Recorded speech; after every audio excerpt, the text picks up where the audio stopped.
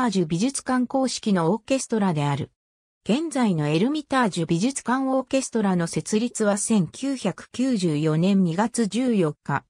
当時、エルミタージュ劇場には様々なオーケストラが公演を行っていたが、サンクトペテルブルクカメラータがその実力を認められ、正式にエルミタージュ美術館専属のオーケストラとなった。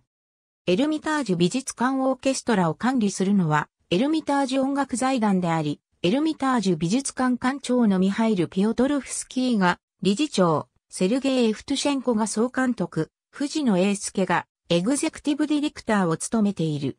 エルミタージュ美術館やエルミタージュ劇場を拠点とし、大規模な音楽祭を開催。